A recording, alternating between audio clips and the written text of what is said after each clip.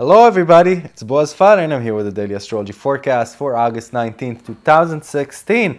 I hope the eclipse went fine. I hope you're all purged and purified. We're going through this eclipse season, two more to go. And we're there, and finally, all these irritating transits we've been going through since February will be done with for now. I mean, we've, we, we've been trying to restructure from February. We've been trying to reinvent ourselves. We've been trying to walk forward. The pillars of our lives have been trembling and changing. And, and we've been asked to restructure everything, or at least some of the most important things in our lives. Major changes regarding how we walk through life. And there was a feeling as if we've been trying to develop, we've been trying to walk forward, and every time we did, things would be changing underneath our feet and would be have we, we would have to adapt ourselves again instead of just sailing on. But all of this is going bye-bye. There's a feeling like there's still this stress caused by the Saturn Mars conjunction in the sky.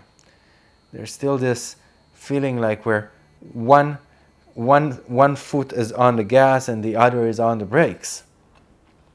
But this is going to go away at the beginning of September while our kids are going back to school from their summer holidays. Not that I have kids yet, but I can relate.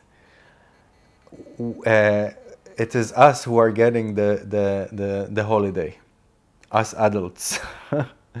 In a sense, we can feel like, like things are lifting, like we've been dealing with all kinds of different troubles that are now just converging into a path that we can recognize, a path that we can start running on, a path that we can focus on.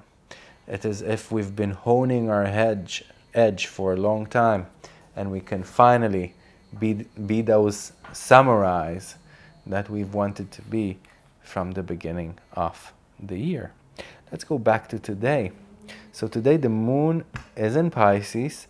It squares Mars and Saturn in the morning time if you are in Europe, and then conjuncts Neptune till around late, uh, late noon, early afternoon if you are in Europe. That's all through the morning up to noontime if you are in the States. And then it conjuncts the North Node, uh, the South Node. And what does it all mean in English? It means that today, and it sounds funny to me when I say it, but I'm going to say it anyway, you should be as feminine as possible.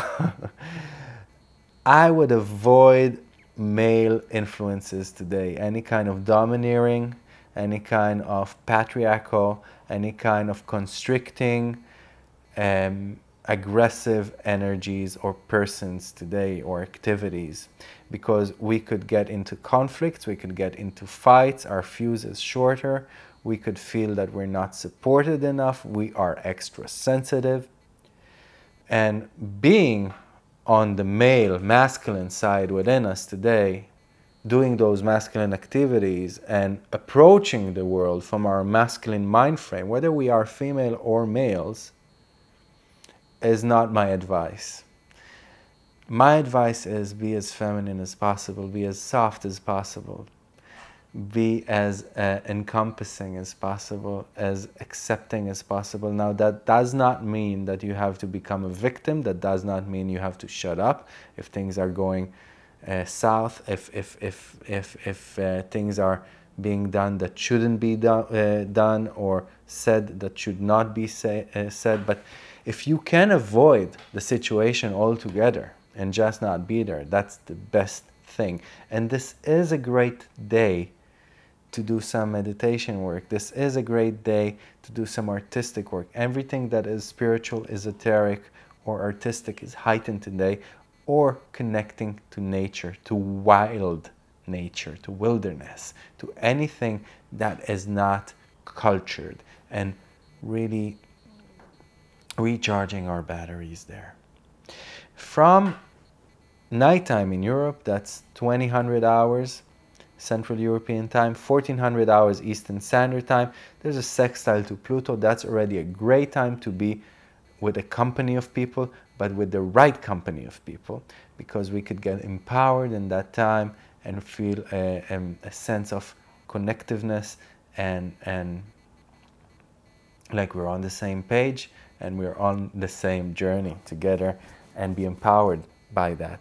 If you are staying up late tonight from around midnight Central European time, that's around 1800 hours Central uh, Eastern Standard Time, there is an opposition to Venus. That is a time that our needs and our emotional um, our emotional needs and our um, desires within relationships can stand opposing could be opposed i'm sorry to those of others in our lives.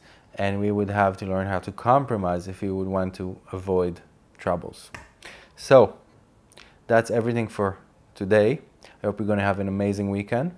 And if you want to study evolutionary astrology with me i'd be honored if you contact me. All the details are in the slide at the end of this video. Enjoy your weekend. Bye bye